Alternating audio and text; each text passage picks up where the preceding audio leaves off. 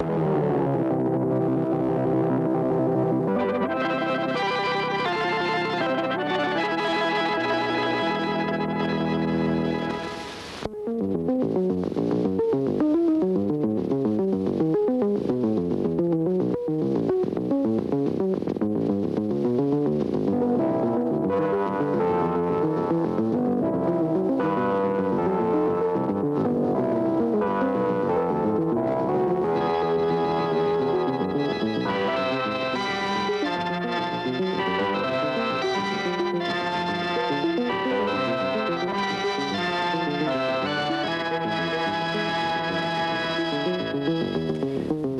people think of mathematics as a very forbidding subject, very rigid, structured, ancient, cut and dried, and rather difficult to appreciate because of the formalism and the difficulty.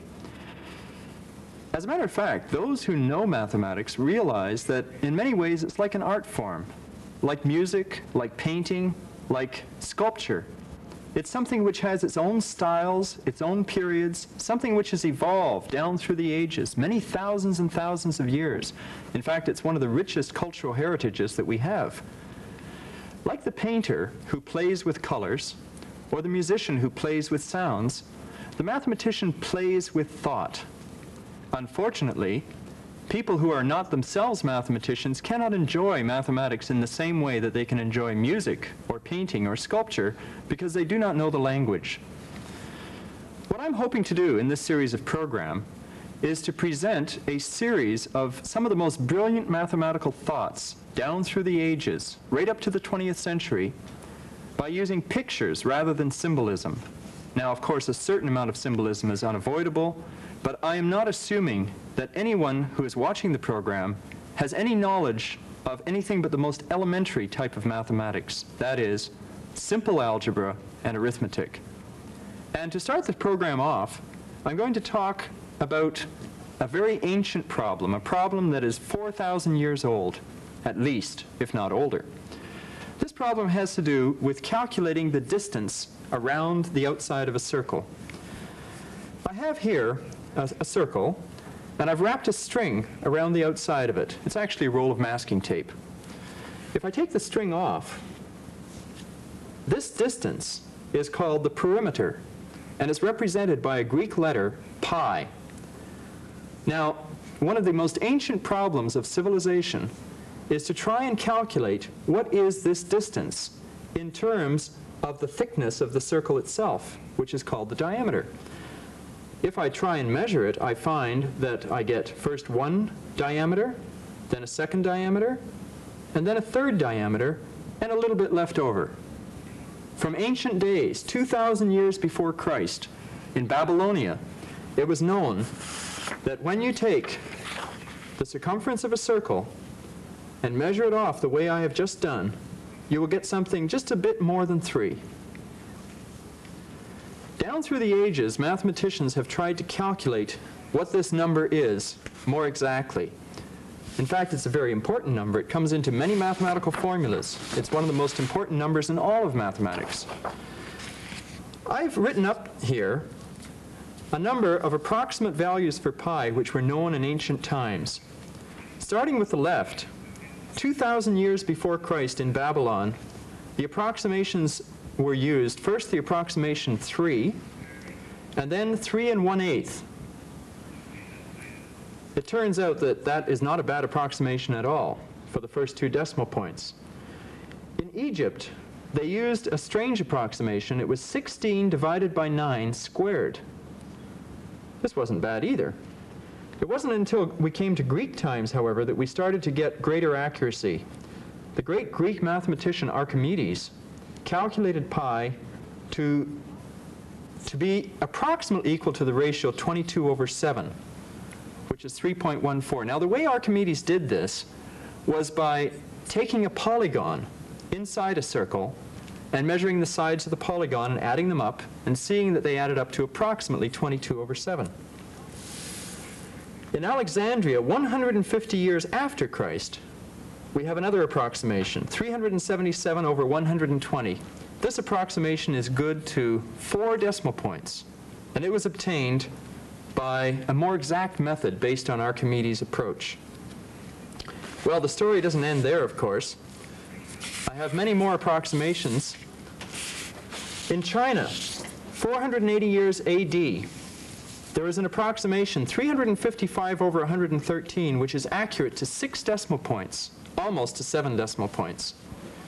In India, 530 AD, here is a fantastic approximation. Nobody knows how this approximation was arrived at, but it gives four decimal place accuracy. In Poland, in the 1500s, almost 1600, there is an approximation which is, again, accurate to about five places.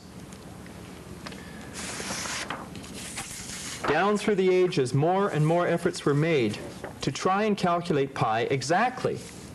In France, in 1579, nine decimal place accuracy was found. In Holland, 1593, 20 years later, 15 decimal place accuracy. In Germany, 1610, 35 decimal place accuracy. This approximation to 35 decimal places involved using a polygon which has more than 100,000 sides. In Scotland, uh, 1706, 100 decimal places was accomplished. And this was used by using, for the first time, what's called an infinite series. I'll be talking more about all of these things later on. Now, just to bring you up to date, I will tell you that uh, when I was eight years old, there were 500 decimal places of accuracy obtained. One year later, when I was nine years old, there was 100,000 decimal places obtained by use of a computer. And the most recent accuracy for pi is to 1 million decimal places. This is accomplished using a high-speed computer. Now, the amazing thing is that almost 100 years ago, it was proven that no one will ever know the exact value of pi because the decimal expansion of pi never stops and never repeats. It goes on and on forever. Nobody will ever know what the next decimal place will be until it is calculated. This fantastic number is called an irrational number. It's a number which cannot be made into a fraction. Now, of course, the Greeks, back in ancient times, 500 years before Christ, back in Archimedes' time, they didn't realize that pi was an irrational number. However, as we will see in this program, they were aware of the fact that irrational numbers did exist, and they had no idea how to, how to really come to grips with the existence of such numbers. It boggled their minds, and I think it still boggles many minds today. Let me go back to ancient times and talk about some other problems of measurement. One of the earliest tricks that was used to calculate measurement was to use what's called similarity. I have here a drawing which takes a unit of length, and here I have a triangle. Now it's possible, of course, to measure the sides of the triangle. I have here two units on one side, one unit, and two and a half units if you take this triangle and magnify it without changing its shape, you obtain what is called a similar triangle, a triangle with the same shape but a different size. From ancient times it was known that if you magnify the triangle by a factor of 2, then all of the sides will increase by the same factor. This is called a constant ratio. It's a scale factor. It's simply like increasing the scale of a map, which we're very familiar with today. The same thing can be applied to circles. I have here the question of calculating the arc length of a circle corresponding to a certain angle. Now, one of the most useful measurements of angle Besides the degrees that we're familiar with from the Babylonians, the Babylonians incidentally believed that there were 360 days in the year. And for this reason, they took the circle and divided it into 360 equal pieces, and they called each one a degree. We still keep that same division today. We also have 60 minutes in every hour, 60 seconds in every minute. These go back to the Babylonians 1,500 years before Christ. But let me get back to the story about the circle. Looking at this diagram,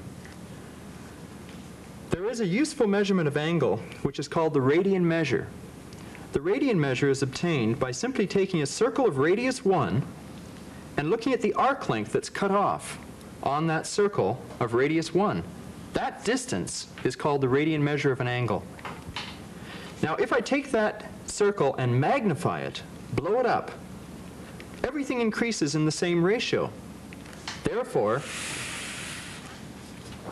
the arc length of the big circle is going to be found by taking the radian measure of the angle and multiplying it by the factor r, which is the radius of the circle. That's the magnification factor. r is how much you are magnifying the circle. Similarly, around the outside of the little circle, we have diameter 2. Therefore, the length is 2 pi. If I multiply that by r, I get the famous formula, circumference of a circle is equal to 2 pi times r.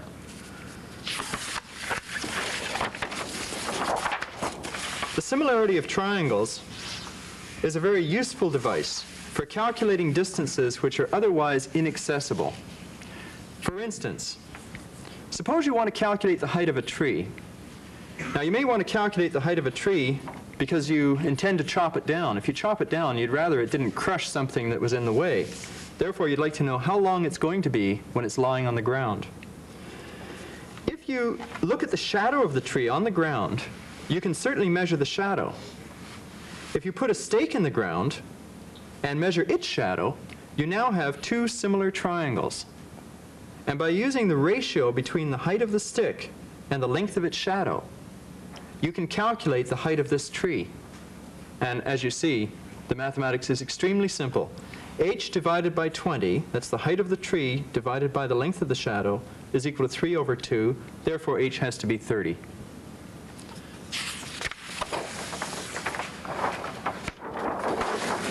The problem of calculating lengths is very much eased by this concept of similarity.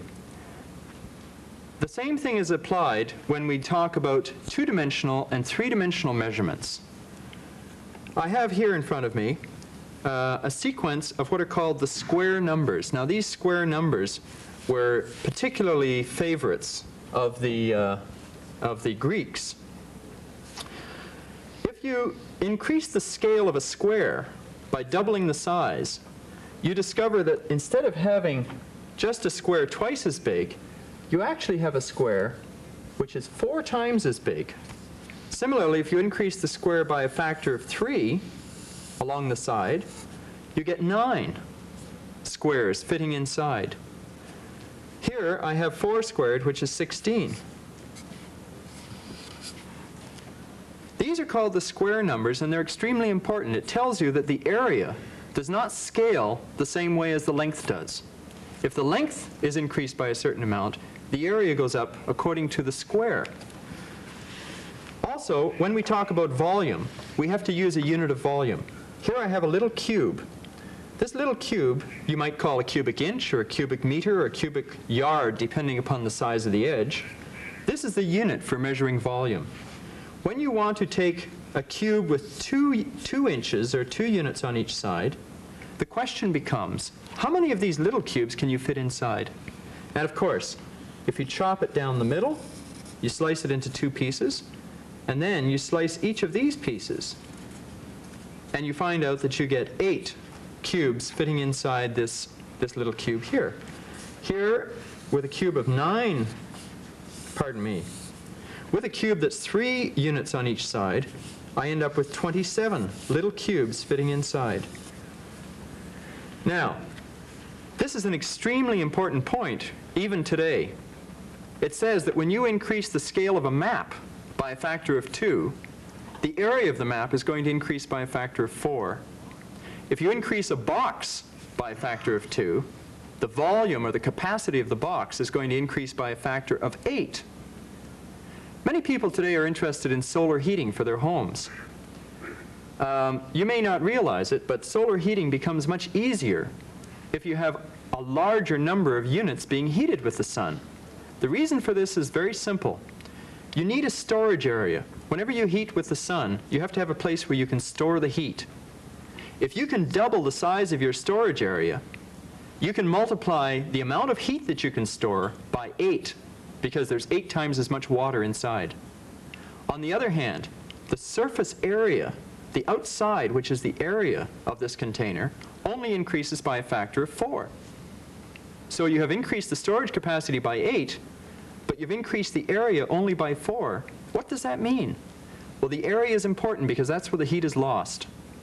So it means that you have less heat lost compared with the amount of heat stored. And it's this ratio, it's called the law of the cube over the square, which makes that scaling factor so important in something like solar energy. It also explains, incidentally, why you couldn't build a ladybug as big as King Kong. Now that may sound like a crazy idea, but you know, a ladybug, if I had a ladybug on top of the desk and knocked, knocked the bug off, the bug would drop to the ground and not get hurt. Whereas, if we were to be pushed off a skyscraper, we would get smashed. Now why is that? Well, the reason why is because we are so much larger that suppose we're, let's say, a thousand times larger. You have to cube that number to figure out how much heavier we are in weight so that our weight is very, very much larger than would be suggested by just simply the scale factor. On the other hand, the strength of the leg is proportional to how thick it is, and the thickness of the leg only increases by the square. So once again, we have the, the weight that has to be supported increasing fantastically fast, while the strength of the supporting members increase much more slowly. Um, I might also point out in this same diagram that I have in front of me that uh, the Greeks were fascinated with other types of numbers. Besides the square numbers and the cube numbers, incidentally, the little 2 upstairs, of course, uh, indicates two-dimensional number. 4 squared, 4 times 4. And here, 4 cubed, 4 times 4 times 4. The number of dimensions is indicated by the little number on top, the exponent. The Greeks were also interested in what are called triangular numbers. The triangular numbers are obtained by taking triangles. This is called the third triangular number. You can imagine what the fourth triangular number is. The fourth triangular number would include these black squares as well as the red ones. The Greeks had a name for these numbers. Uh, they symbolized them by the, by the symbol t with a little n below them. This is the nth triangular number, and the way to find it is by adding up 1 plus 2 plus 3 all the way up to n. As you can see, you got 1 in the corner, 2 in the next diagonal, 3 on the next diagonal, 4 on the next diagonal, and so on. These are called the triangular numbers. Down here, in the little corner of this cube, we have what are called the pyramidal numbers. These are found by building pyramids. One on top, then three on the next layer. Actually, there's one that you can't quite see there because uh, you have to fill out that base. So there's actually four on the next layer. This is the third triangular number there, what I have is the first triangular number plus the second triangular number plus the third triangular number, and so on.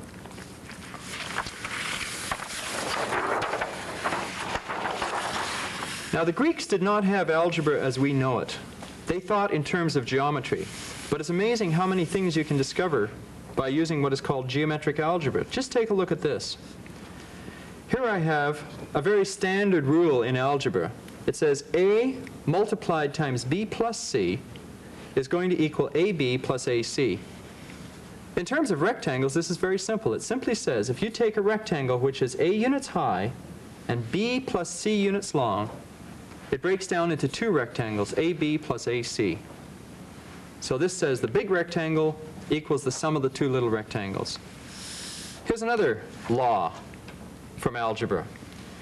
It says that if you take a square which has two units put together of unequal length, B and C,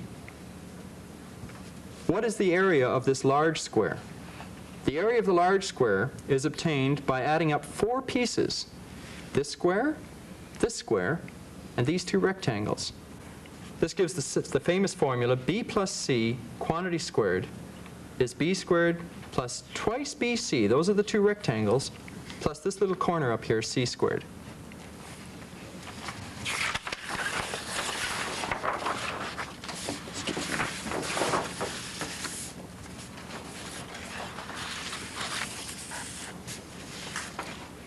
Now, when we come to irregular shapes, the question of area is perhaps a little more interesting.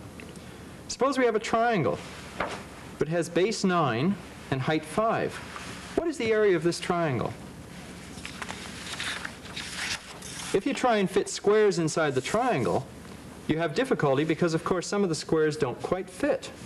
And so then you have little fractional squares, and it's very difficult to see what the area is going to be. The Greeks had an easy way out of that. What they did was they completed the triangle to make a rectangle. And then it's very easy to see that if you look at this half, you have one part of the triangle is half this rectangle, and if you look at the other half, this part of the triangle is one half of that rectangle. So that altogether, the area of the triangle is exactly one half the area of the rectangle around it. This gives, of course, the famous formula. The area for a rectangle is the base times the height. For a triangle, it's one half the base times the height. From this, we can move to the area of a circle. If you try and fit triangles inside circles, they won't quite fit. But as the triangle becomes smaller and smaller in its base, the fit becomes better and better and better. We see down here that the area of this circle is almost equal to the sum of the areas of all these triangles. And since the base of these triangles adds up to the circumference of the circle, and since the height of the triangles is the radius of the circle, using the formula for a triangle, 1 half the base times the height, I end up with this formula for the area of a circle. It's 1 half the circumference times the radius. And that's where the formula pi r squared comes from. It relates the circumference of a circle to the area of a circle.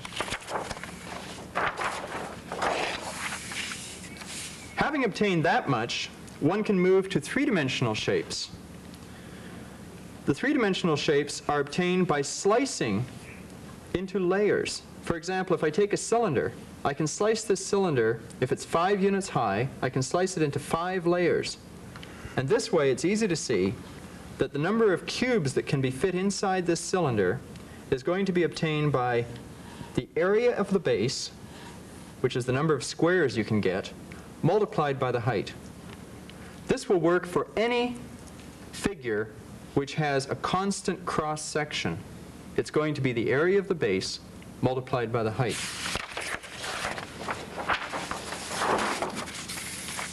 It's a little bit more complicated when we come to solid figures which do not have a constant cross section. I have here a figure of some of these uh, some of these types of objects. For example, this is the famous Egyptian pyramid with a square base and tapering up to a top. The question is, what's the volume of this object? Here I have a triangular pyramid, and here I have a circular pyramid, which is also known as a cone. It turns out in all cases that the volume of these pointy objects is exactly one-third the volume of the original object that surrounds it. That is, the object with constant cross-section. Now, it might be interesting to note that if I could prove this for a square-based pyramid, it would automatically follow for all the other shapes. Because if I can cover the, the base with little squares and then pinch the top to a single point, and if every one of them becomes one-third as large, then the whole volume will become one-third as large. So it's enough to prove it for one pyramid. Now let me step over here to the table and I'll show you a little model that I've made. This is actually a triangular solid. It has a constant cross section. I don't know if you can see that. You have to focus in very tight. Now you can see that there's a triangular solid and uh, it's got a constant cross section and I've built this so that it decomposes into three equal shapes which are pyramids. This simply shows that each one of these pyramids has a volume which is one-third as large as the original solid.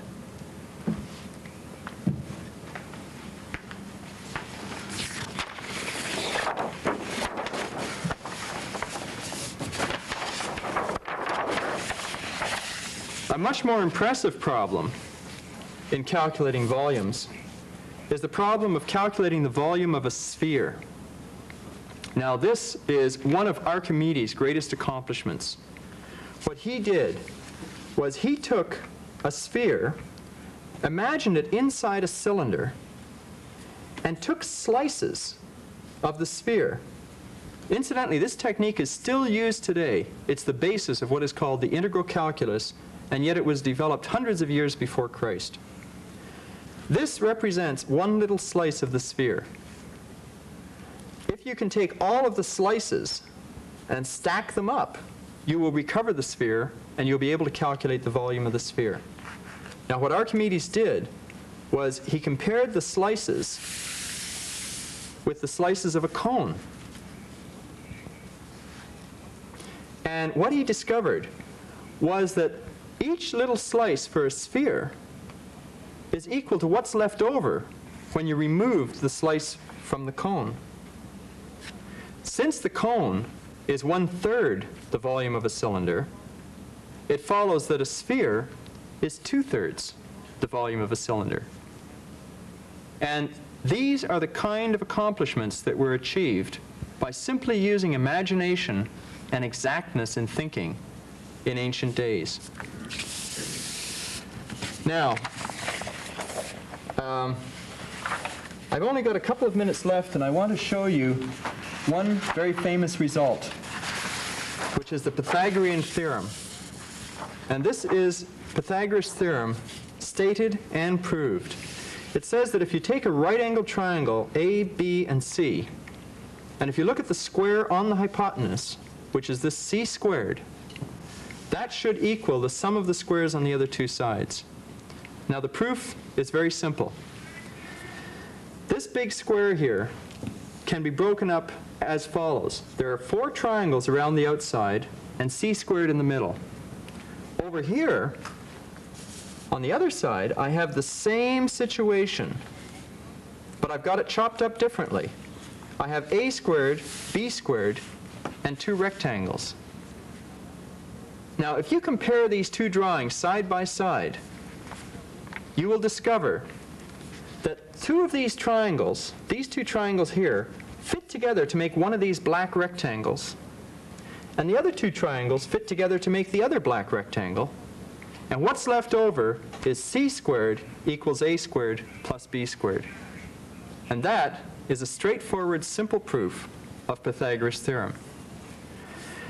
Now, Euclid came about 300 years before Christ, and he developed a complete axiomatic system for geometry, which I will be talking about in the next um, lecture, which is dealing with non-Euclidean geometry and what happened in the 19th century.